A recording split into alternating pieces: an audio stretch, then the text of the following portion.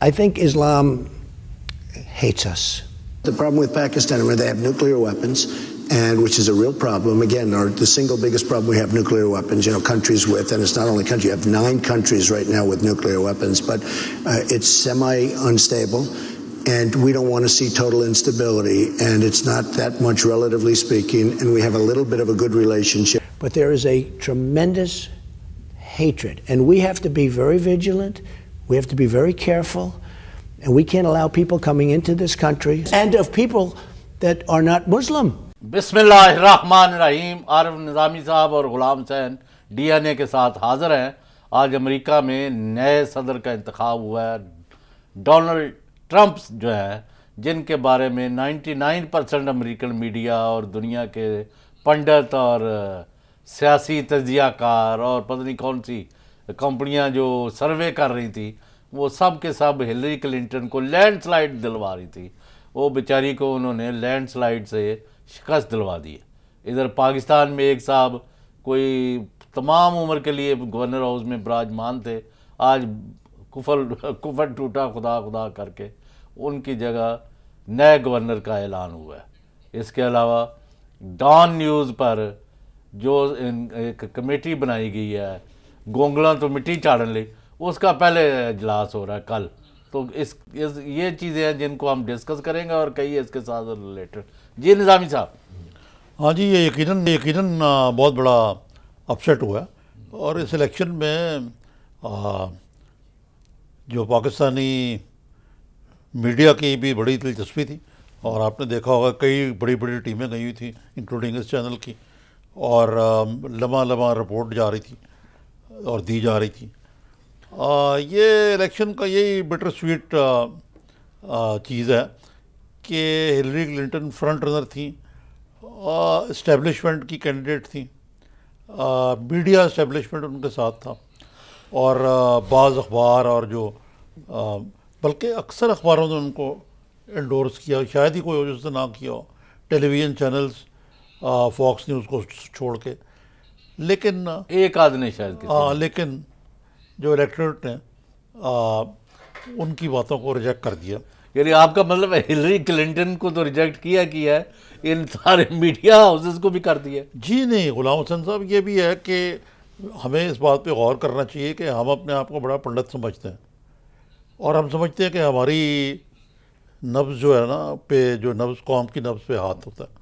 And we can be very long end of the mark कि हम बिल्कुल जो रियलिटी से बाज़ात कटे हुए होते हैं, जिसका बैन सबूत अमरीकी मीडिया और ये जो सर्वेज हैं, ये भी इनकी भी लिमिटेशंस होती हैं। कहते हैं कि जब कोई पोलिंग एजेंट पर जाता है ना पोलिंग स्टेशन में जाता है, उस वक्त सोचता है कि यार मैं क्या करूँ?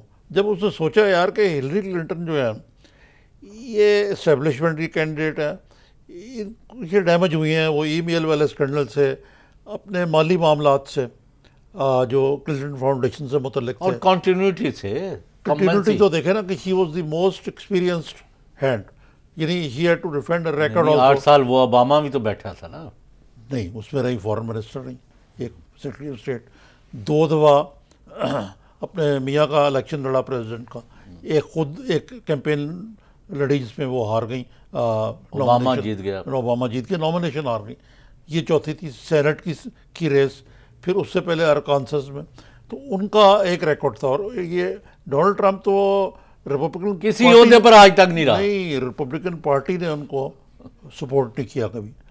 लेकिन जो दूसरा सवाल पैदा होता है कि यहाँ हमारे यहाँ बड़ी हाहाकार मची हुई है जैसे कि क्लिंटन के हारने से पाकिस्तान साड़ी माँ मर गया है या क्या या पाकिस्तान की एक बहुत बड़ी हामी मोयद दोस्त जो हैं वो हार गई हैं। तो उन्होंने पाकिस्तान से कौन सी दोस्ती पाकिस्तान दुश्मन जो है वो आ गया। अब अगर आप रिकॉर्ड लें दुरुस्त दुरुस्त करें तो न्यूक्लियर पे उन्होंने पाकिस्तान को नकू बनाया। उनके जाने के बाद न्यूक्लियर सप्लाई ग्रुप में इंडिया को जप्पी डाली। इंडिया के साथ उनके तल्लक जिस तरह जा रहे थे वो बहुत आगे थे क्योंकि उनके कौमी मफादात हैं। अब बरा कहा एक कोई के एंकर तो एक हमारे तजिया नगार हैं दोस्त भी हैं वो कह रहे थे कि उन्होंने देखे उन्होंने हुसैन का लफ्ज़ साथ रखा बाराक इसका मतलब पाकिस्तान के दोस्त बिल्कुल नहीं थे आठ साल हो गए एक दफ़ा पाकिस्तान नहीं आया तो मेरा मकसद है कि डेमोक्रेट्स के होते हुए ये थे दाल चावल भी खा के गया it will not be an easy run for Pakistan और पाकिस्तान को मुश्किल रही उसकी वजह कि अमेरिका के अपने ग्लोबल मफाद हाँ अलबत्त हम इस पर बात कर सकते हैं कि क्लिंटन के के जाने के बाद अब जो जब ये ओबामा के जाने के बाद तो लेन लॉक के जब बीस जनवरी को ये हलफ उठाते हैं ट्रंप तो पाकिस्तान के लिए एक टफ टाइम शुरू होगा, मजीद टफ टाइम और उसमें बहुत सारी चीज़ें जो पहले शायद दरगुजर हो रही थी, उनके बारे में ज़ीरो टॉलरेंस की पॉलिसी हो। नहीं, जो ये मोदी है जब वो आया तो उससे भी तो हमें यही ख्याल था ना कि वो पाकिस्तान दुश्मनी में आगे जाएगा। तो वो जा रहा है। और आप बिल्कुल सही फरमा रहे हैं कि अमेरिका की जो पॉलिसी में हंड्रेड परसेंट जो शिफ्ट आ चुका है दुनिया में, वो है कि अमेरिका ने फैसला किया है। कम अज़ कम इस रीजन की हद तक। वो इंटरनेशनल भी कह लें कि अमेरिका ने इंडिया और इसराइल के साथ मिलके चाइना और दूसरे मुल्कों के खिलाफ अपना एक यूनाइटेड फ्रंट बनाया। तो उसमें पाकिस्तान को चीन के पलड़े में रखा हुआ है। और वो आप पसंद करें या ना करें, हिलरी हो या ट्रंप हो या यानी ओबामा साहब ने, कौन सा हमारे साथ अच्छा सलूक किया है जो हम समझे, जैसे आप ठीक कह रहे हैं। अब मैं एक बात ज़रूर करूँगा। अब नाउ वी नो कि Trump does not have any और सपोर्ट फॉर अस हमने उसी बुनियाद पर आगे बढ़ना है और मुमकिन है कि रिलेशनशिप में बेहतरी आ जाए बैलेंस क्रिएट हो जाए।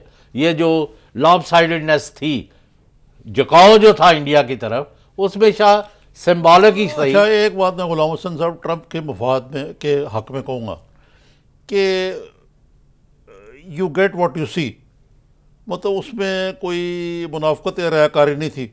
वो खुवातीन के साथ भी छेड़छाड़ है बाकी काम भी है। कहते हैं टैक्स मैन नहीं देता आपको रिटर्न अपनी। ठीक है ना जी? और कारोबार के मामले में वो एक कंपनी को बैंक करके पैसे बनाने का आदि था, वो सारी उसकी जो बातें हैं तो बिला का मोकास्त वो सही बात करेगा। हमें शायद पता लग जाएगा where we stand with him अच्छा नहीं, ये दसो मतलब ऑन ए लाइटर साइड ये जो आपके हुक्मरान हैं, वो जो हिलरी और बिल क्लिंटन पर तकिया करके बैठे हुए थे, और जो सबक थे, और इन लोगों के बारे में अफवाहें हैं कि इन्होंने उनको फंडिंग की है इलेक्शन कैंपेन में तो इन्हों का की बनेगा? वो बयाने देते ने। मैं आपको इस बारे में एक ज़रा माफ़ करना। ये मुझे नहीं इलम के कोई बयाना दिया ये बयाना वयाना देने वाले नहीं हैं लेकिन मैं आपको एक लेने वाले मजमू तनाजर में मैं एक बात करने लगा हाँ, देखिए दुनिया में बड़ी तब्दीली आ रही है। लगता है कि जो दुनिया में स्टेटस को के ख़िलाफ़ जो है ना लोग अच्छा वो तंग आ गए उससे। उसमें अमरीकी या बरतानवी या मगरबी जमहूरियत भी शामिल है। इसीलिए आपने देखा होगा कि ये- और ये जो ओपिनियन पोल्स वगैरह हैं ये भी ठप हो गए ठप हो गए। मसलन ब्रेक्सिट देखें। ब्रेक्सिट वो भी गलत दिया। यार इसलिए कि जो एक आम मिडिल क्लास का आदमी है वाइट कॉलर जो है या वाइट अमेरिका में और मिड अमेरिका में वो समझता है दुनिया भर में जॉब चली गई हैं ये- ये बड़ी ट्रंप की ये थी और अमेरिका गरीब हो गया।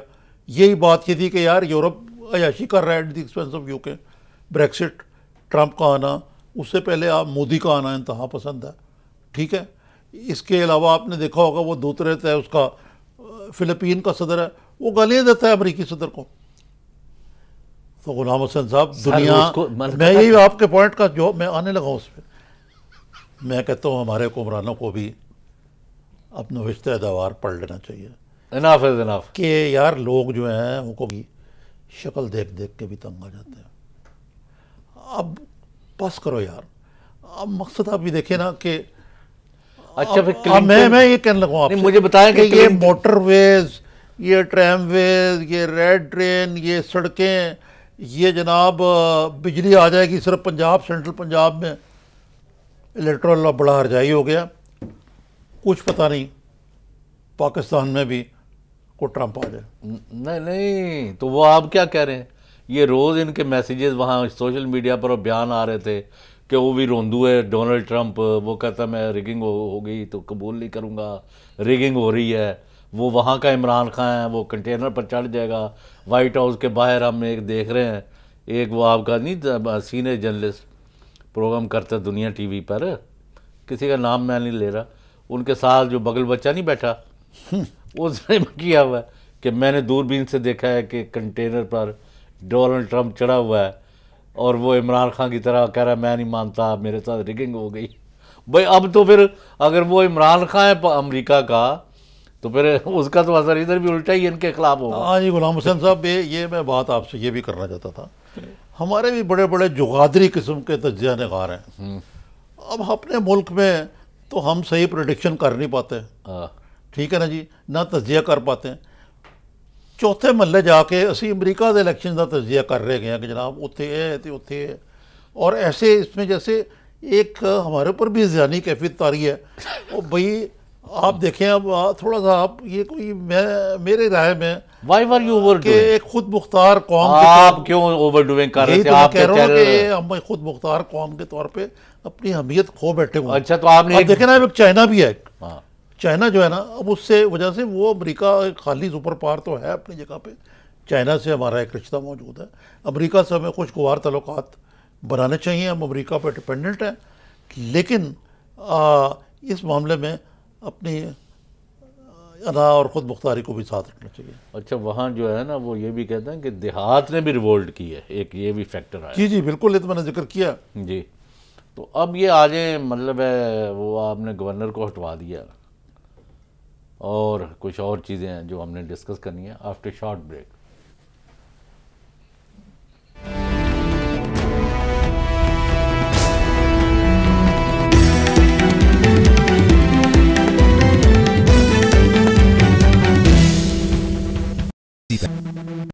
We are united by our support for democracy. They're laughing at us, at our stupidity.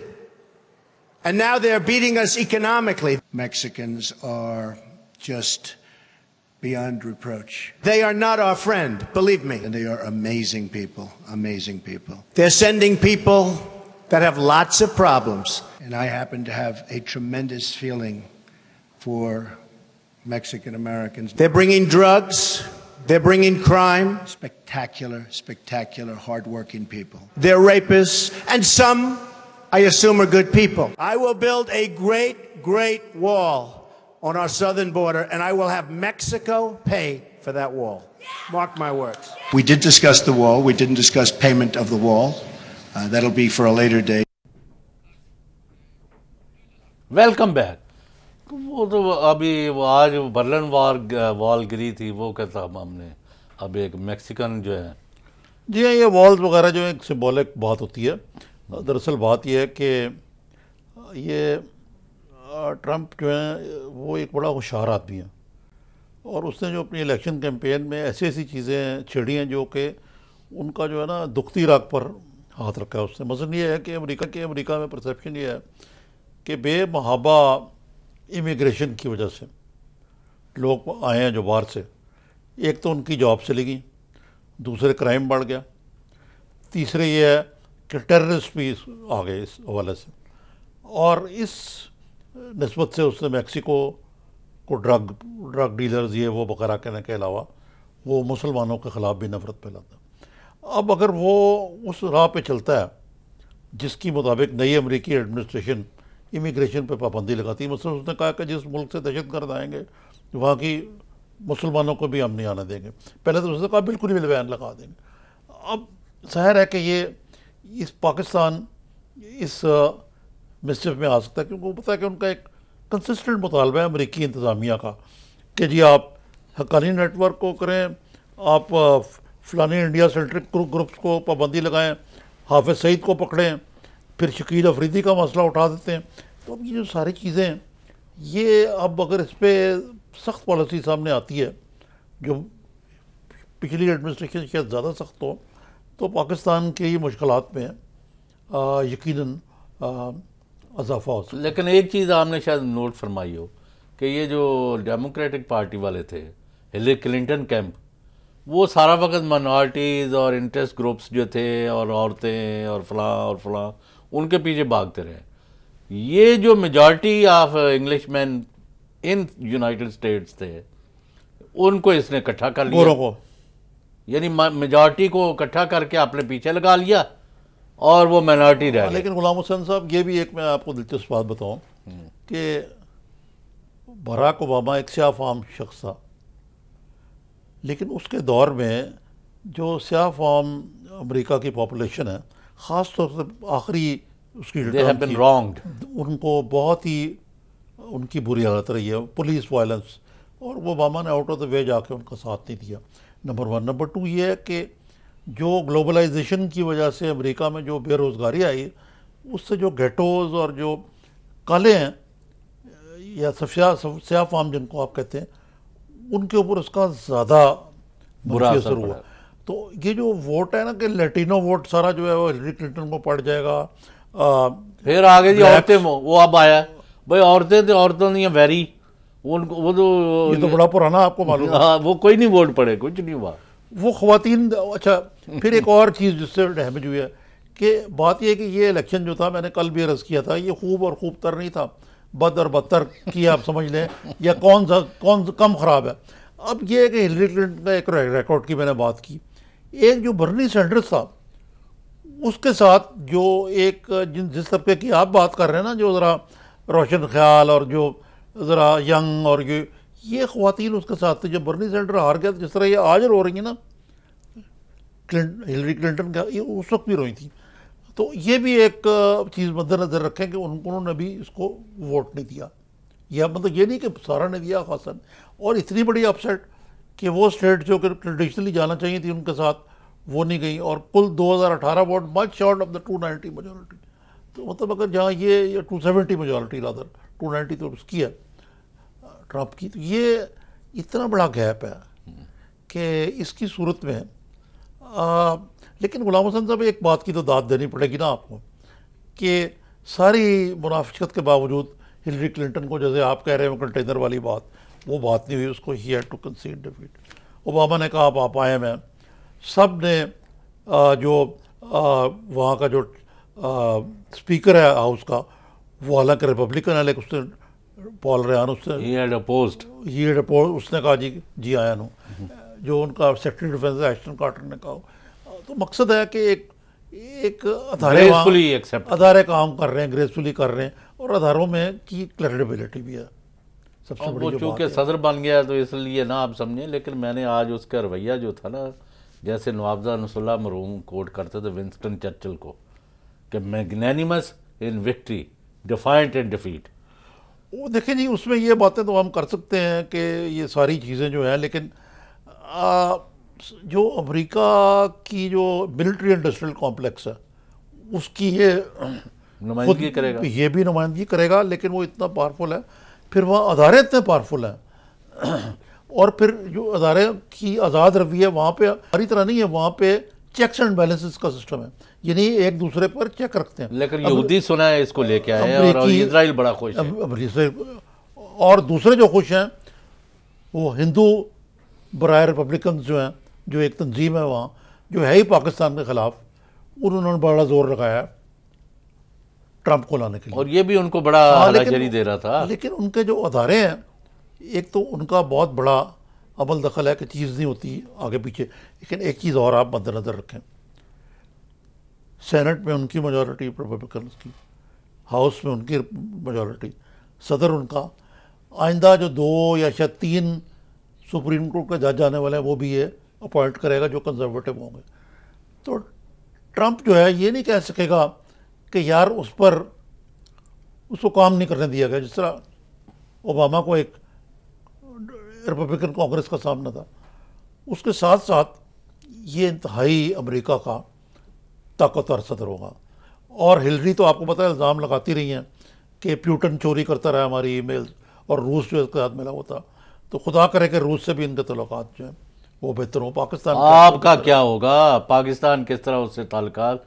क्योंकि लगता है तो आपने तो सारे जो आपके लोग थे वो तो हिलरी के ऊपर हिलरी हिलरी करते जा रहे थे। वहाँ तो मेरा ख्याल कोई आपने कोई आप यानी राव रस्म कोई बढ़ाने की कोशिश नहीं नहीं गुलाम हुसैन साहब ये तो आप कह रहे हैं ना करते हैं हिलरी का माला जाप रहे होंगे। लेकिन हमारी वहाँ जो ना कोई लॉबी थी ना एम्बेसी ने वो काम किया। बल्कि बाज़ हमारे पाकिस्तानी जो हैं जो वहाँ पे बैठे हुए हैं वो पाकिस्तान मुखालिफ लॉबियों के साथ काम करते रहे। नंबर एक नंबर दो सर जो मेजर शिफ्ट आ चुका है ना अमेरिका में जो हमें रिकग्नाइज करना पड़ेगा और इसको चैलेंज समझ के उसके अटैक करना होगा कि अमरी इंडिया और हिंदू इंडियन ओरिजिन के लोग और हिंदू खास तौर पर। मैंने इसीलिए ये मैं नाम मैंने हिंदू नहीं कहा। ये उस तंजीम का नाम है हिंदू बराए रिपब्लिकन और वो सारा एंटी पाकिस्तान है। और वो पेनिट्रेट कर चुके हैं वहाँ सिस्टम ऑफ़ गवर्नमेंट में। स्टेट डिपार्टमेंट डिफेंस इधर उधर घुसे हुए हैं। कई कई मशीर बने हुए आपका वो ए और ब्रेक के बाद हमने कराची के गवर्नर की तब्दीली और एमकेएम और दूसरी फोर्सेस का क्या मौकफ है? After short break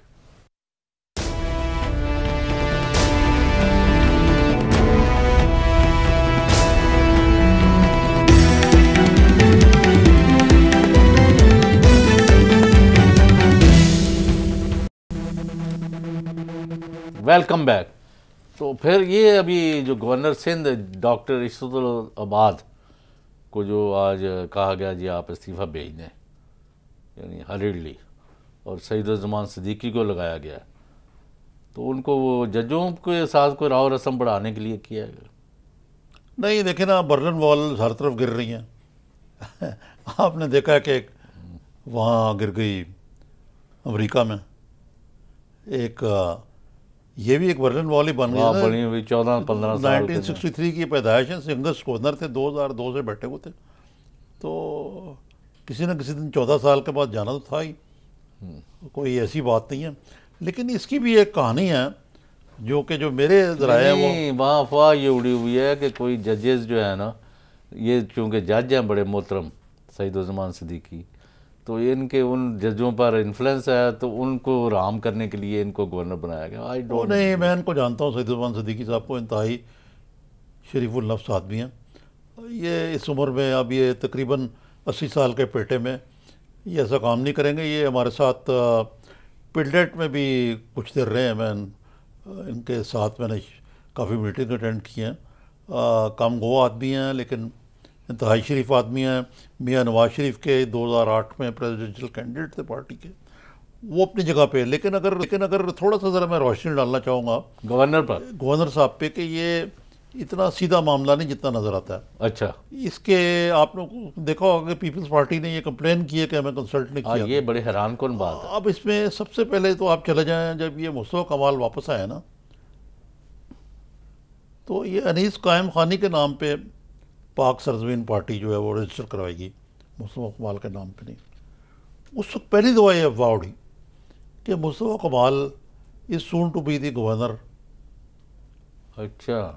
और आपको याद है कि इन्होंने एक साल पहले या 2013 में गालबन या उस चौदह की बात है इन्होंने दो साल पहले इन्होंने रिज़ाइन भी किया था इशरतुल्लाबाद ने जो एक्सेप्ट नहीं किया गया और चले गए दुबई चले गए अच्छा।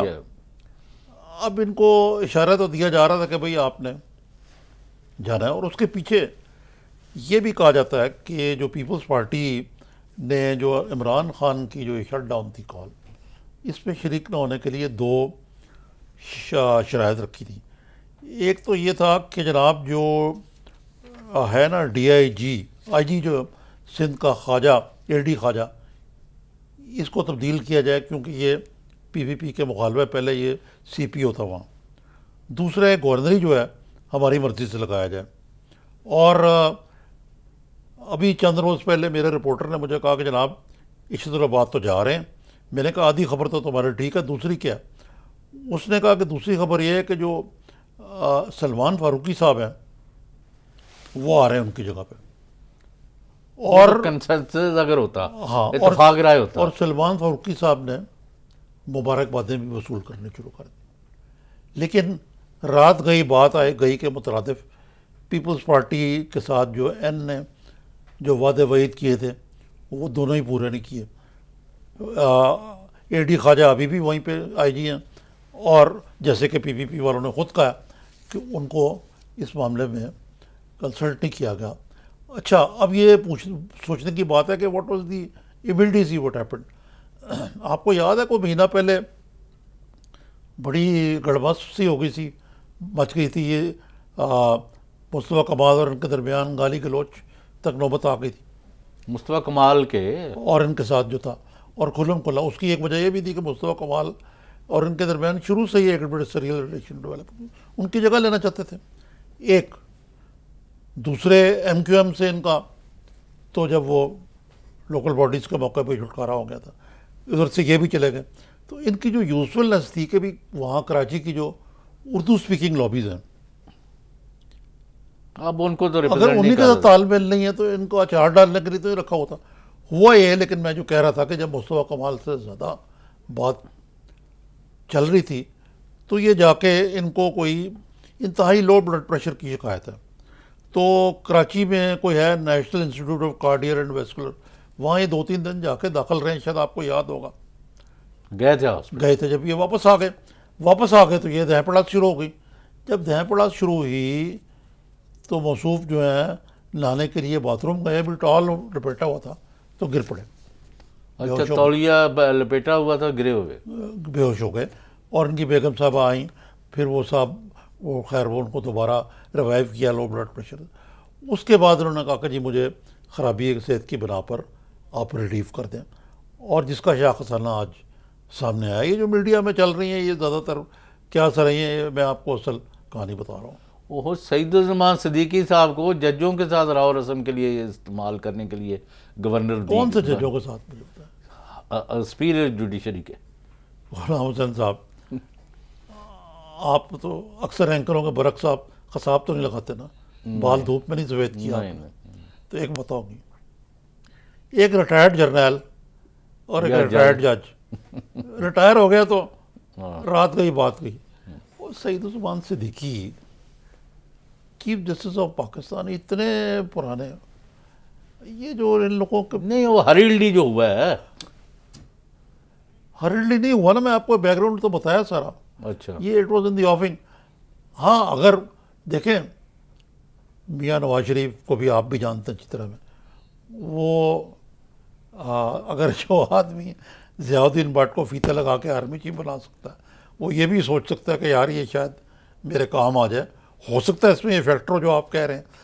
लेकिन अगर आप मुझसे पूछें कि आया ये को कारगर साबित होगा तो मेरा नहीं ख्याल कि ऐसी को बात। नहीं मतलब वो कहते हैं कि no stone should be left unturned अब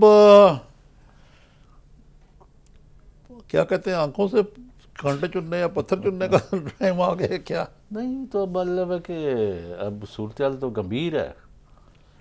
और ये सईदुज्जमान सिद्दीकी का आइनी सरबराह हो गए इसलिए पीपल्स पार्टी के अगरचे सियासी तौर पर आप एक फेडरेटिंग यूनिट है सिंध बड़ा सूबा है और शोरश ज़्यादा है वहाँ आप देखते हैं कि कोई नॉर्मल सिचुएशन नहीं है। नहीं नहीं गुलाम हुसैन साहब नाजर नॉर्मल सिचुएशन नहीं है लेकिन आपने देखा होगा कि सिचुएशन जो है पिछले चंद हफ्तों में ख़राब हुई खासी डिटेरिएट कर गई है वहाँ एक चीज़ जो पहले नहीं हो रही थी, पहले तो एथनिक किलिंग थी। वहाँ अब एक सेक्टेरियन किलिंग भी शुरू हो गई है। अब कॉम्बिंग ऑपरेशन हो रही है। उसकी वजह कि जो मंगो पीर वगैरह वगैरह आता है, वो तो नो गो एरिया बड़ी देर से तालिबान के पास है। अब ये जो सारी सूरत हाल है, इसमें जो अशरतलाबाद थे ना, वो बिल्कुल ही इरेलीवेंट हो चुके हुए थे।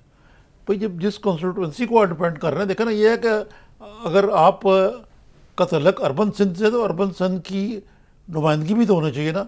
अगर आपकी एक अरबन सिंह की पार्टी से गाली गलौज में दूसरी आपसे बातचीत करने को तैयार नहीं है।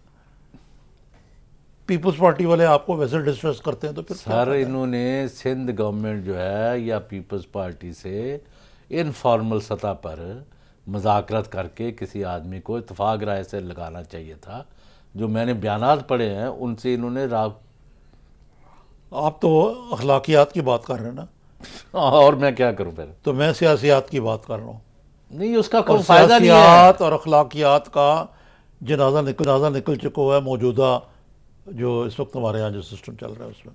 असूली तौर पर और अखलाकी तौर पर मैं आपसे सौ फ़ीसद मुतफिक हूँ कि Peoples Party should have been taken on board सवाए को जजों के बारे में और मेरे ख्याल उनकी कोई सियासी यूज़फुलनेस नहीं है।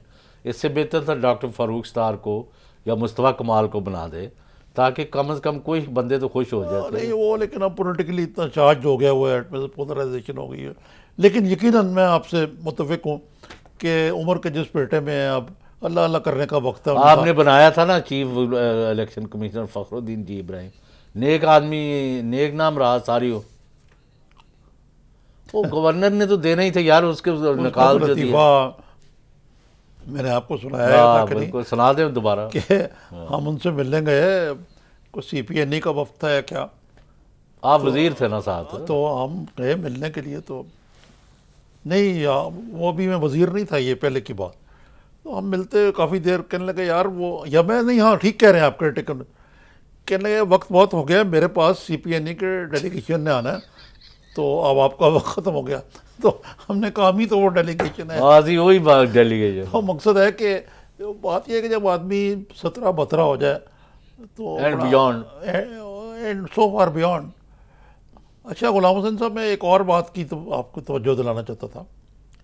एक और डेवलपमेंट जो हुई है वो जो कमीशन बनते बनते कमेटी बन गई खोदा पहाड़ और निकला चूहा इसके बारे में भी मेरे पास कुछ थोड़ी सी आज बतानी है ना सारी मेरे पास भी है करते हैं बात।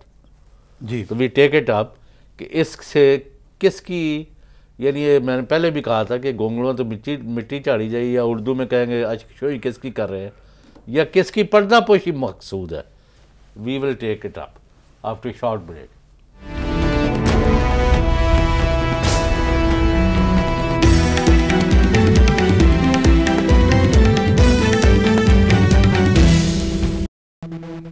welcome back.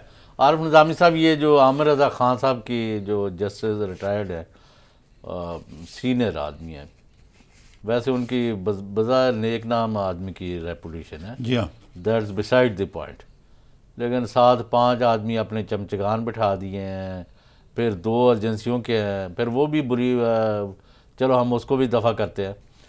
साथ का तीन चार दिन में होगा एक महीना उसका टाइम मुकर कर दिया है फिर कहा मरियम जो है उसका नाम क्यों नहीं? तो निसार अली खान ने प्रेस कॉन्फ्रेंस बंद कर दी। फिर कहा एक वज़ीर का फिर ये क्या हो क्या रहा है? ये कवर अप के लिए खुरा मटान के चक्कर में है? गुलाम हुसैन साहब आप ऐसे ही परेशान हो रहे हैं। अच्छा। आ, ये मामला जो है ना इसको अब ऑफिशियली बरी करने का फैसला किया गया। अच्छा अच्छा। जो मेरी थोड़ी बहुत नाकस इलम है यानी फौज ने भी यानी? मैं फ़ौज का नाम नहीं लेता लेकिन अगर मियाँ नवाज़ शरीफ ऐसा कर रहे हैं तो उनको कोई ना कोई किसी मामले में को थोड़ी बहुत अगर हलाशरी नहीं तो आमादगी या आशीर्वाद ज़रूर हासिल है। वो, मेरा ख़्याल है कि अब अब एक ऐसे पीरियड में हम दाखिल हो गए जब अब देखा होगा कि आर्मी चीफ अब मुख्तलिफ़ जगहों पर जा रहे हैं, खारियाँ गए थे कहीं और, दो चार जगह, एक किस्म की उनकी फेयरवेल कॉल्स हैं। और वो इस कंट्रोवर्सी के अंदर मेरा नहीं ख्याल के जाना चाहते हैं या जाना पसंद करेंगे। और इस मामले में जो आप कह रहे थे ना, मैं आपको शुरू में भी कह रहा था, अगर इस मामले में वाकई वही करना होता कि स्कैफर करदार और आर्मी एक्ट और ये और वो वो जो कोर कमांडर्स का सख्त बयान था और उसके बाद जो कुछ कार्रवाई हुई ना, उसके बाद बस ये, परवेज़ रशीद के जाने के बाद ये मामला मुझे ऐसे ही लगता है। नहीं मेरे मतलब आपकी इतला है लेकिन मैंने जो अभी सुना है हो सकता है गलत हो मेरी इतला। नहीं नहीं वो उन्होंने चार बड़े अहम पॉइंट रेज कर रहे हैं इन्फॉर्म सर्कल्स नंबर एक। इन्फॉर्म्ड सर्कल क्या होता है?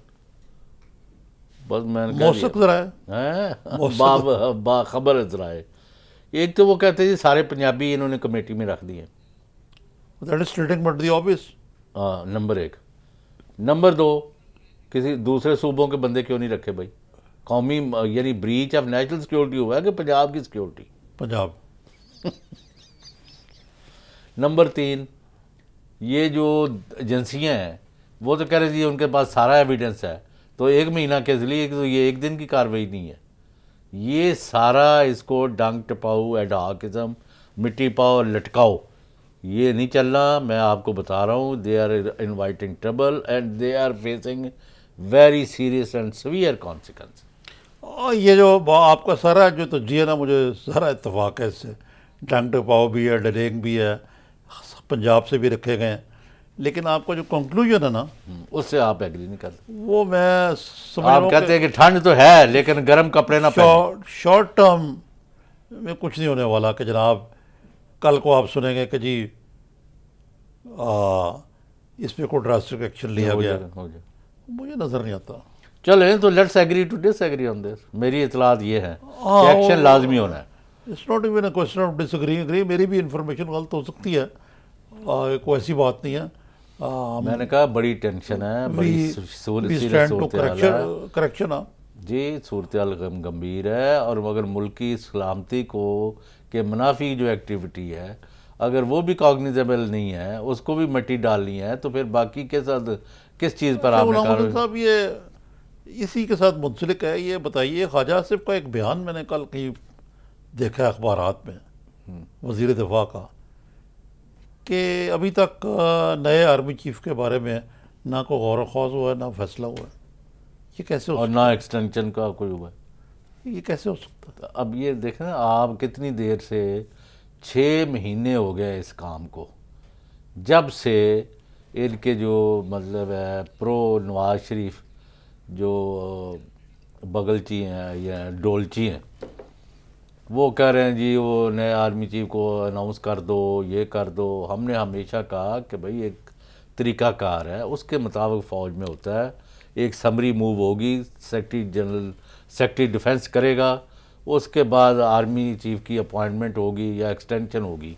ना अभी तक समरी मूव हुई है और मतलब अगर उन्होंने कोई फैसला भी किया हुआ है तो not to anybody's knowledge हाँ जहाँ तक मेरी नॉलेज है इसका मैं पहले कई दफ़ा ज़िक्र कर चुका हूँ कि मियाँ नवाज़ शरीफ ने शुरू से ही फैसला किया हुआ था कि हम आर्मी चीफ को कबल अज वक्त बाज़ लोग कह रहे थे कि जनाब ये जब बहुत ज़्यादा हाइट पे था ना क्राइसिस आप ना उन्होंने कहा मैं कबल वक्त नहीं करूँगा मैं जब वक्त आएगा उस पर करूँगा। लेकिन अब तो वक्त आ चुका हुआ नहीं जो आपको ये नहीं है फिर फिर यही प्रॉब्लम है ना कि जब अशफाक परवेज़ कियानी की रिटायरमेंट हुई है ना तो ये जो नई अपॉइंटमेंट्स हुई थी वो 26 को हुई है। 26 नवंबर को होके वो भी इट वॉज़ टू लेट हाँ जी।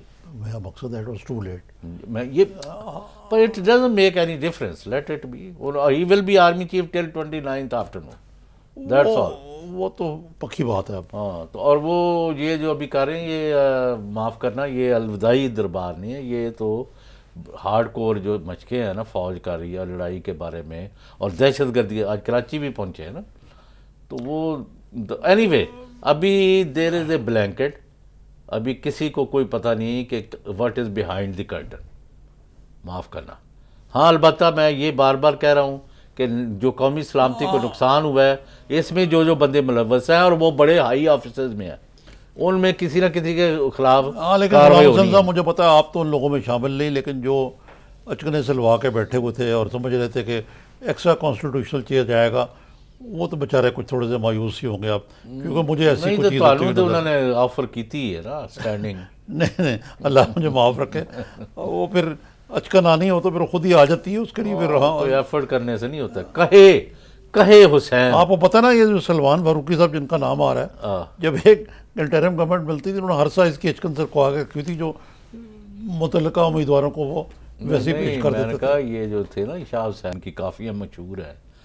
कहे हुसैन फकीर साइंदा तख्त ना मिल दे मंगे मांगने से कुर्सियाँ और तख्त नहीं जी गुलाम हुसैन साहब अब वक्त खत्म हो गया वो तो हिलरी क्लिंटन की द फ़ील्ड ने भी साबित कर दिया।